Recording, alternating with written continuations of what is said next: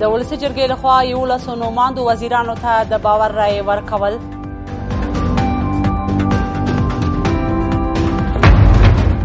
په ملي امنیت شورا کې د محمد محقق د غړیتوب ځنډېدل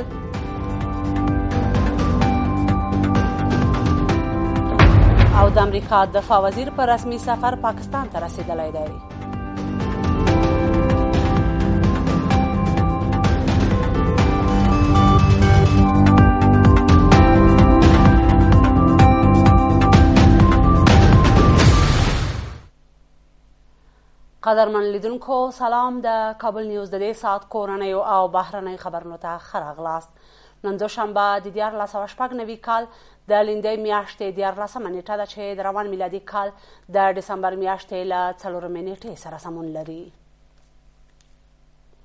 اوس هم پوره خبرونه ولسي جرګې یولس نوماند وزیران تایید خو یوازینۍ ښځینه نوماندې نرګس نهان ته یې د رد رایه ورکړه ولسي جرګې د چهارشنبې په ورځ دولسو نوماند وزیران ته د رای ورکونې په هدف صندوقونه کې خودل چې په پایله کې یولس نوماندانو د تایید رای ترلاسه خو د قانون وزارت نومانده د پنځوس جمعیو رایو په ترلاسه کولو بریالۍ نشوه د ولسي جرګې رئیس له حکومت څخه غوښتنه وکړه چې د پاتې دریو وزیرانو په شمول دې ژر تر ژره د سرپرستان له لوري اداره کیدونکو ادارو ته تازه نوماندان معرفي کړي. د ولسي جرګې له لوري د یو شمېر وزیرانو له سلب اعتماد کېدو نږدې یو کال وروسته بالاخره یولس وزارتونو لپاره نومول شوي نوماندانو له ولسي جرګې څخه د تایید رایه ترلاسه کړه. که څه هم په دې وروستیو کې د حکومت او ولسي جرګې ترمنځ د ځینو مسایلو پر سر اختلاف رامنځته شوی، خو ولسمشرۍ ماڼۍ تېره شپه د ولسي جرګې غړي ارګ ته وربللي وو او داسې ښکاري چې نوماندانو ته د رایې ورکونې په برخه کې جوړجاړی شوی دی. د دوشنبې په ورځ د ولسي جرګې دوه سوه پنځه ویشت غړي حاضر وو او نوماندانو باید د تایید لپاره د وکیلانو یو سلو پنځلس رایې ترلاسه کړې وای. د ولسي جرګې د غړو ترمنځ له رایګیرۍ وروسته، شهزاد ګل اریوبي د مخابراتو وزرات لپاره د یو سلو پنځلس تاییدي او یو اتیا رد رایو په ترلاسه کولو سره تایید، محمد شفیق ګل اغا شیرزوی د سرحدونو چارو وزرات لپاره د یو سلو پنځه اتیا تاییدي او نهه څلوېښت رد رایو په ترلاسه کولو سره تایید، ویس برمک د کورنیو چارو وزرات لپاره د یو سلو درې اویا تاییدي او پنځه دېرش رد رایو په ترلاسه کولو سره تایید، طارق شاه بهرامي د ملي دفاع وزارت لپاره د یو سل او یو څلوېښت تاییدي او پنځه شپېته رد رایو په ترلاسه کولو سره تایید، مجیب الرحمن کریمي د کلیو پراختیا وزارت لپاره د یو سل او نهه ویشت تاییدي او شپږ اویا رد رایو په ترلاسه کولو سره تایید، نصیر احمد درانی د کرنې وزارت لپاره د یو سل او څلور څلوېښت تاییدي او دري شپېته رد رایو په ترلاسه کولو سره تایید، فیض الله ذکي د کار او ټولنیزو چارو وزارت لپاره د یو سل او شپږ ویشت تاییدي او پنځه اویا رد رایو په ترلاسه کولو سره تایید، حمید طهماسي د ترانسپورت وزارت لپاره د یو سل او نهه څلوېښت تاییدي او پنځه پنځوس رد رایو په ترلاسه کولو سره تایید، یما یاري د عامه فوایدو وزارت لپاره د یو سل او شپږ پنځوس تاییدي او شپږ څلوېښت رد رایو په ترلاسه کولو سره تایید، مصطفی مستور د اقتصاد وزارت لپاره د یو سل او پنځه پنځوس تاییدي او نهه څلوېښت رد رایو په ترلاسه کولو سره تایید، نجیب الله خواجه عمري د لوړو زده کړو وزارت لپاره د یو سل او څلور ویشت تاییدي او اووه اویا رد رایو په ترلاسه کولو سره تایید، خو یواځینۍ ښځینه نومانده نرګس نهان د کانونو وزارت لپاره د کافي رایو په ترلاسه کولو سره بریالۍ نه شوه. در جریان پروسه ارائه رای اعتماد به وزرای محترم که جمعا دوازده تن کاندید وزیر از طرف حکومت به ولسی معرفی گردیده بود که از این جمله به تعداد یازده تن کاندید وزرا رای اعتماد بروسیلگرا کسب نمود به حیث وزیر شناخته شد ولی متاسفانه یک تن از کاندیدای محترم و خواهر عزیزمان نرگس نیهان در وزارت معادن و معرفی گرفته شده بود رای لازم اینجا به علاوه یک کسب نکردن اینمی پارلمان زن ثابت ساخت که با یگانه وزیر زن که در بین دوازده کاندید وزیر یک زن بود رای ندادن و این تومت را از سر زنها هم ای بار باید گم شده باشه که تمام خانم ها ای بار علنی رای دادن به کاندید وزیر زن و مردها ای بار به یک زن رای ندادن د ولسی جرګې رئیس له حکومت غوښتنه وکړه چې د پاتې درې وزارتونو په شمول دی د سرپرستان له لوري اداره کیدونکو ټولو ادارو ته نوماندان معرفي کړي ولسمشرۍ ماڼۍ هم ډاډ ورکړ چې ډیر ژر به د سرپرستۍ لړۍ ته د پای ټکی کیږدي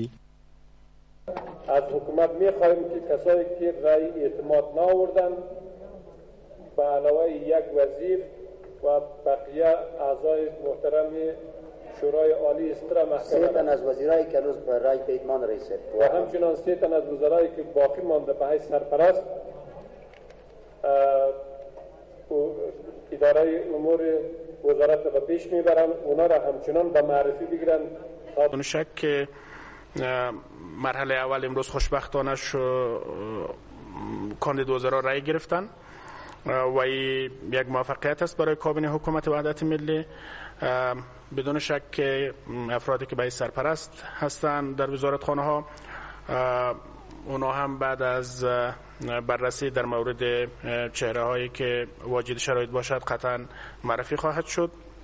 که څه هم ولسمشرۍ ماڼۍ وايي د پاتو وزرتونو لپاره به ډېر ژر تازه نوماندان معرفي کړي، خو ویل کېږي د اطلاعات او فرهنګ وزرت پرته د پوهنې او بهرنیو چارو وزرت لپاره د نوماندانو معرفي کولو پر سر لا هم د حکومتي چارواکو ترمنځ د نظر اختلاف پر ځای دی.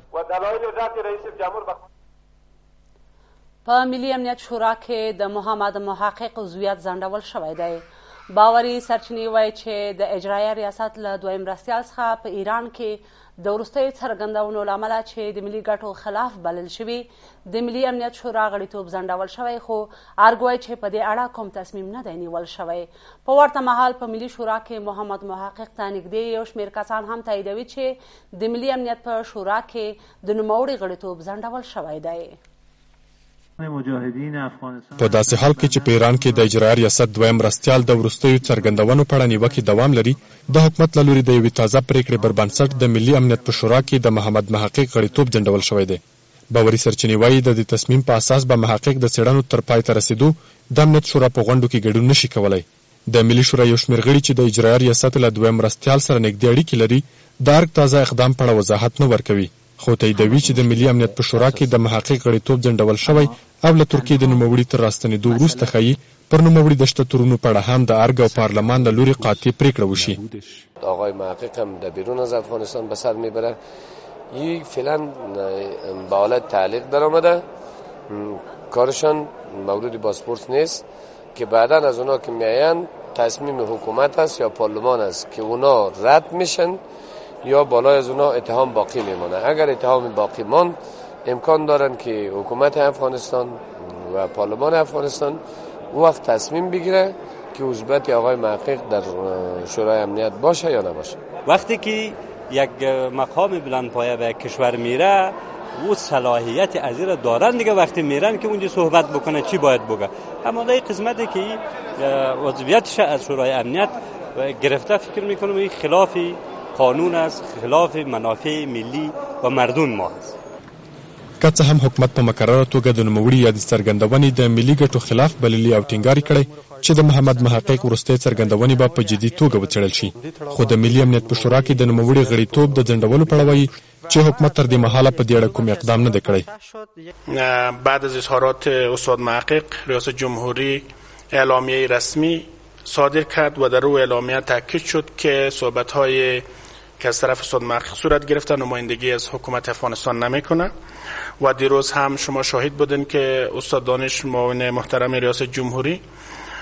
صحبت کردن و گفتن که ما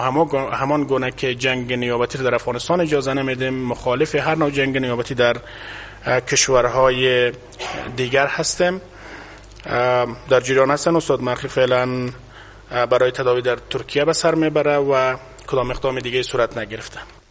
بل پلو افغان حکومت وايي چې په نږدې راتلونکي کې به د چين په کوربه توب د افغانستان، پاکستان او چين د بهرنيو چارو وزيرانو غونډه جوړه شي څو د کابل او اسلام اباد ترمنځ د اړيکو په رغولو خبرې وکړي. په همدې حال کې د سوداګرۍ او صنايعو او د بهرنيو چارو وزرتونه وايي چې ولسمشر اشرف غني د دوشنبې په ورځ ازبکستان ته لاړ او له دې هېواد سره به په بېلابېلو برخو کې د همکارۍ یوویشت سندونه لاسلیک کړي. قرار شد که نشست سه جانبه وزیران خارجه افغانستان، پاکستان و چین به زودی در چین برگزار شود تا روی مسائل مختلف و مشکلاتی که فیمابین افغانستان و پاکستان هست بحث و تبادل نظر صورت بگیره. دیدار دو جانبه جلالت مآبان رؤسای جمهوری اسلامی افغانستان و جمهوری آذربایجان پنج موافقتنامه مهم دو جانبه که به تلاش های امور خارجه و نهادهای دیگر هر دو کشور نهایی شده بودند و منظور گسترش همکاری ها میان دو کشور در ساحات امنیت، تجارت و اقتصاد، تحصیلات عالی، ترویج و حمایت متقابل از سرمایه‌گذاری و خدمات هوایی امضا گردیدند. بر اساس این تفاهم ترانزیتی میتانیم راههایی را که از پیش تنظیم شده بر افغانستان و بر ازبکستان ما از طریق خط آهن هوا و زمین که از طریق سرک است استفاده کنیم و اموال خود به کمترین زمان بدون تعلل به کشورهای سالس برسانیم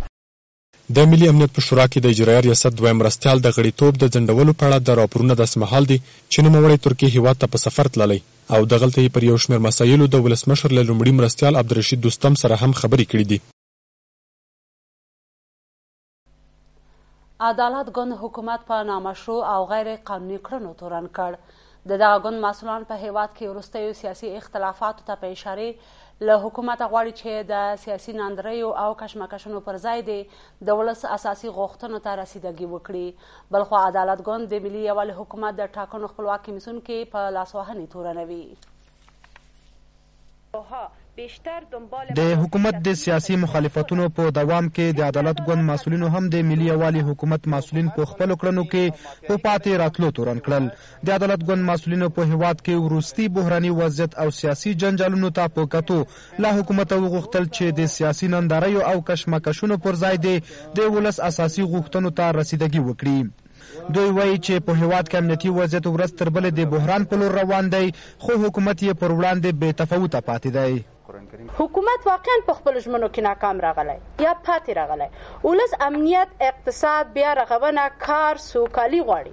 عدالت ګوند پر دواړو لورو یعنې حکومت او منتقدینو غږ کوي چې له سیاسي ناندریو دې تېر شي، او د افغانستان سلامتی ثبات لپاره د د ملی رسالت څخه کار واخلی. های سیاسی و همچنان کشمکش های سیاسی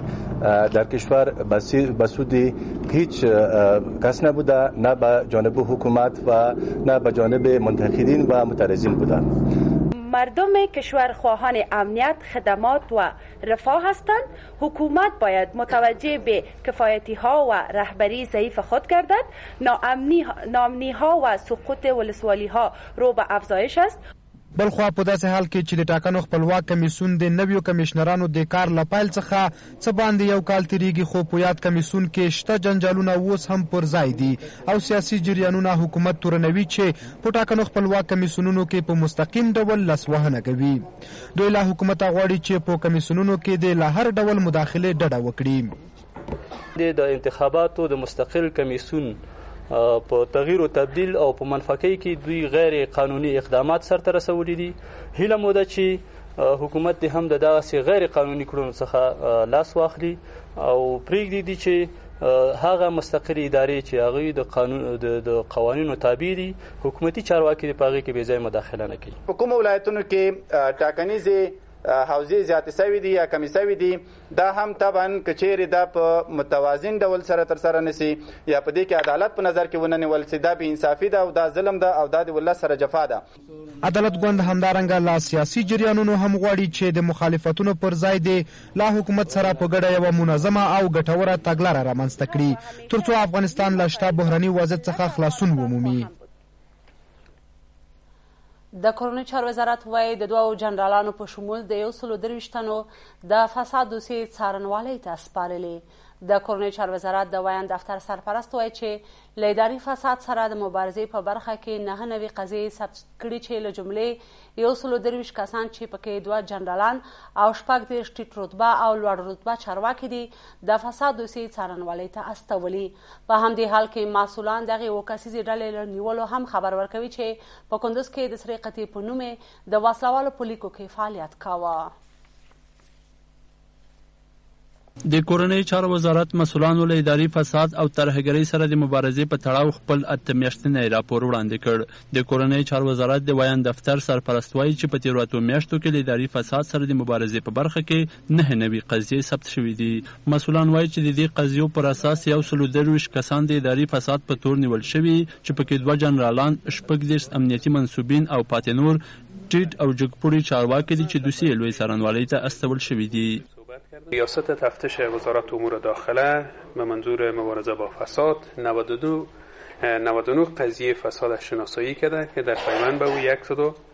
بیست و سه تن مظنون که شامل منصوبین وزارت داخله است و سارانوالی معرفی نبوده که از جمعی افراد دو تن شامل جنرال است و 36 تن دیگه شامل افسران بلند رتبه شامل سمونوال و سمون معلوم باشه د کورنۍ چارو وزارت وایي چې له اداري فساد سره د مبارزې په برخه کې دوی حساس دي بل پلو مسولان وایي چې د کورنۍ چارو وزارت له توریزم سره د مبارزې ریاست په کندوز کې هغه و کسیزه ډله نیولې چې په خان آباد او چهاردره کې د سرې قطعې په نوم فعالیتونه کول و یک گروه هفت نفری ره که اینا باعث برهم زدن آرامش مردم در ولسوالی چاردره ولایت کندوز می شدن از ولسوالی خاناباد بازداشت کردیم این هفت نفر به سرگروپی امان الله فرزند محمد امان است که اینا در یک گروپی به نام قطعه سرخ در کندوز فعالیت میکردن و باعث برهم زدن آرامش مردم ما در این منطقه می شود. د کورنیو چارو وزارت وايي چې په تېرو اتو میاشتو کې څه باندې اته زره ګډ عملیات او څلور شپېته ځانګړي عملیات کړي چې له امله یې څه باندې زر وسله وال وژل شوي او نږدې پنځه سوه نور ټپیان شوي دي. د دوه سوه درې تندر قلوردوم مسؤلین وایي د وردګو په سید اباد او د لوګر په برکي برک ولسوالۍ کې عملیات دوام لري د دوه سوه درې تندر قلوردو قماندان وایي د خنجر په نوم د عملیاتو موخه وردګو کې د سید آباد ولسوالۍ د تنګي درې تصفیه کول دي چې له تیرو څو کلونو راهیسې پکې طالبانو قوي مرکزونه جوړ کړي وو چارواکي وایي چې په تنګي دره کې درې ډوله کانونه مرمر کرومایټ او سلیکان موجود دي چې په تیرو کلونو کې د طالبانو لپاره د عوایدو په مهمه سرچینه بدل شوي دي د دوه سوه دریم تندر کلو اردو د میدان وردګ او لوګر ولایتونو تر منځ پرتې تنګي درې کې د تصفیوي عملیاتو لا دوامه خبر ورکوي. د یادې کلو اردو قوماندان وایي د خنجر په نوم د عملیاتو موخه وردګو کې د سید آباد ولسوالۍ د تنګي درې تصفیه کول دي چې له تیرو څو کلونو راهیسې پکې طالبانو قوي مرکزونه جوړ کړي وو. پښتون زیاتوي په یادو عملیاتو کې چې نن دوشنبې پیل شوي د طالبانو د وسلو زېرمې او نور مهم وسایل نیول شوي او لا هم د سیمې تصفیه روانه ده. عملیاتی که در مسیر رای لوګر و میدان وردګ آغاز ګردیده، ای عملیات هدف ما تنګی میدان وردګ است و باز کردن مسیر راه از پل علم الی ولسوالی، شیخ آباد میدان وردګ است که این مسیر را تقریبا چندین سال میشه عملیات اجرا نشده بود و در این مسیر دشمن همیشه ظهور پیدا میکرد و وسایت مردم اذیت و آزار میکردن دشمن سخت تلفات دیده و سلاح و وسایت دشمن به دست نیروهای امنیتی افتیده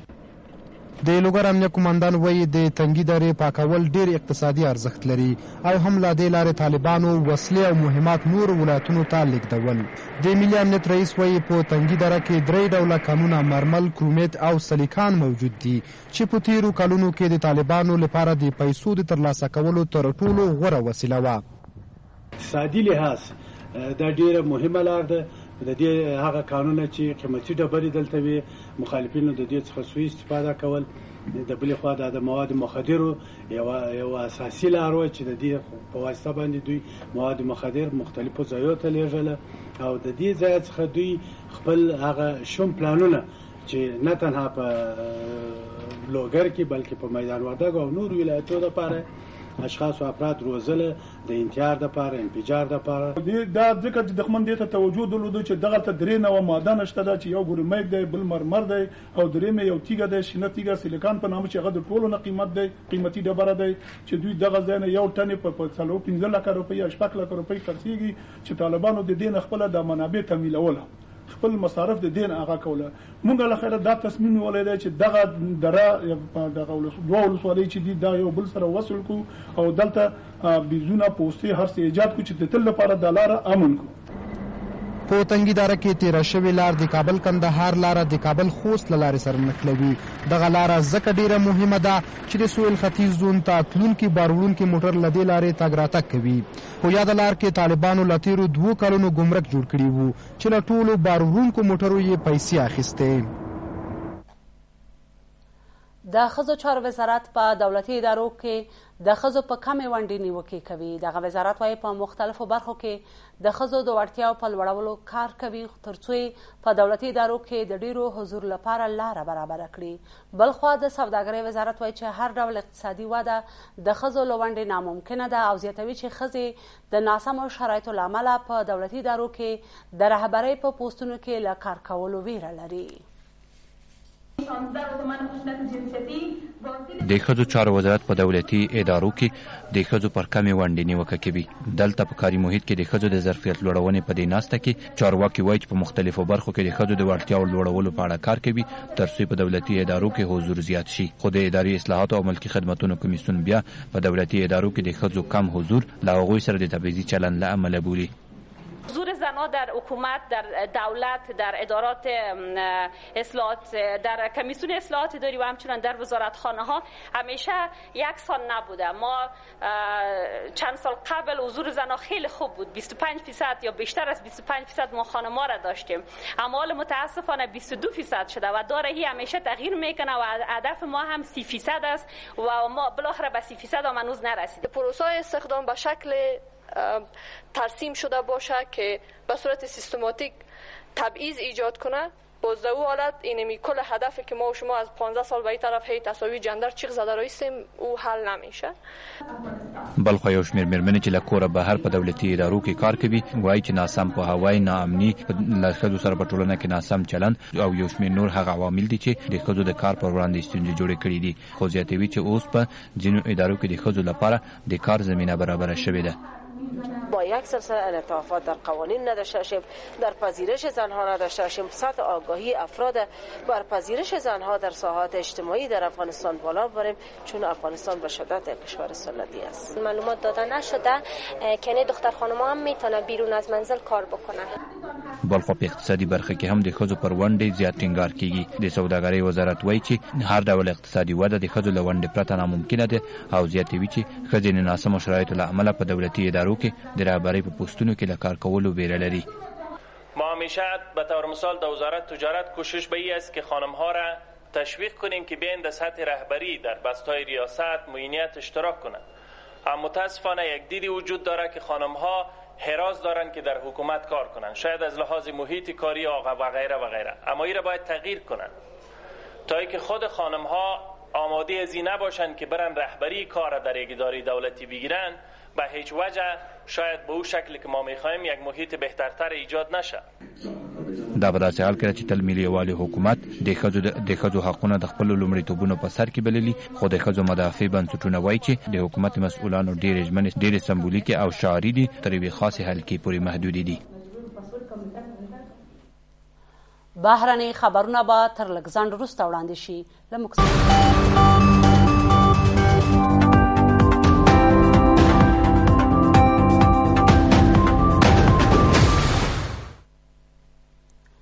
بیا هم خراغلاس د امریکا دفاع وزیر جیمز ماتیس په رسمي سفر اسلام آباد ته رسیدلی دی تمه ده چې ماتیس به نن له پاکستاني چارواکو سره د تروریزم په اړوندو مسایلو خبرې وکړي د افغانستان او جنوبي اسیا لپاره د متحده ایالاتو د نوي ستراتیژۍ له اعلان وروسته امریکایي چارواکو په پرله پسې ډول ویلي چې پاکستان باید دغو ډلو پر ضد چې په افغانستان کې په نړیوالو افغان ځواکونو حملې کوي نور اقدامات وکړي تمه ده چې ماتیس به نن په اسلام آباد کې له پاکستاني چارواکو سره په خبرو کې په ډاګه وویل چې امریکا په دې برخه کې جدي ده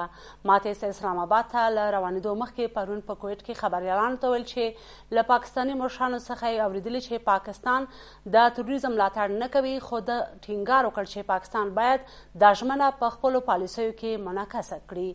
ماتیز دا څرګندونې په داسې حال کې کوي چې په واشنګټن کې عمومي نظر دا دی چې پاکستان د طالبانو او د حقاني شبکې د وسلوالو پر ضد کافي اقدامات نه دي کړي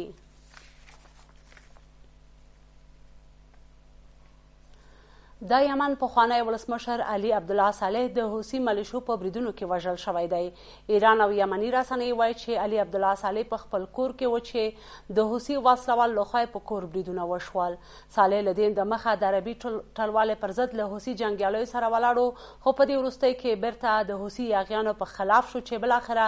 د همدغه ډلې لخوا ووژل شو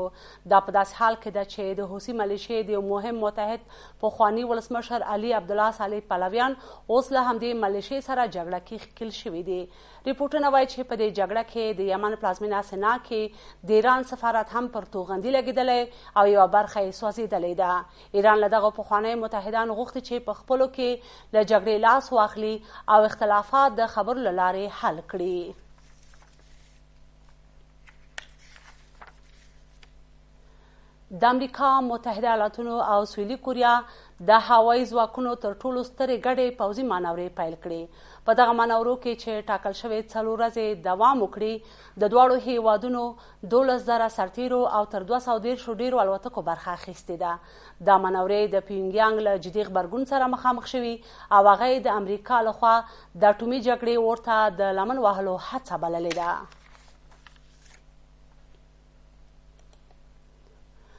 د پاکستان سرحدي ځواکونو یو ځل بیا پر هندي کشمیر د توغندیو په ورولو سره سیمه کې دوربند له تړونه سرغړونه کړې ده د هندي کشمیر د پونچ سیمې اوسیدونکي وایي پاکستاني ځواکونه له یکشنبې راهیسې د دوی پر سیمو توغندیز بریدونه کوي او د هند سرحدي ځواکونو هم پرې ځوابي ډزې پیل کړې دي د ډزو په دې تبادله کې تر اوسه د اوښتي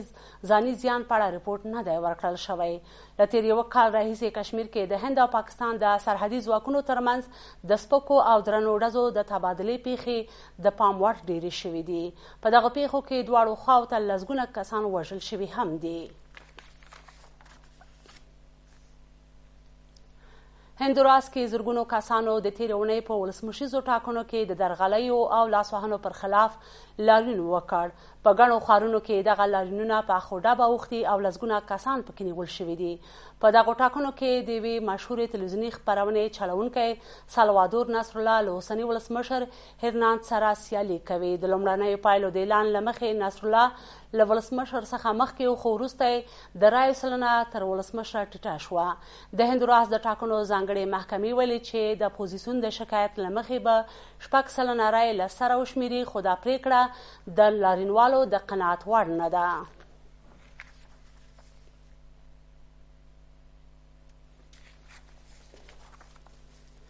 ګران لیدونکو د دې سات خبرونه پای ته ورسېدل له ملتیا مو مننه تر بیا مو الله مل شه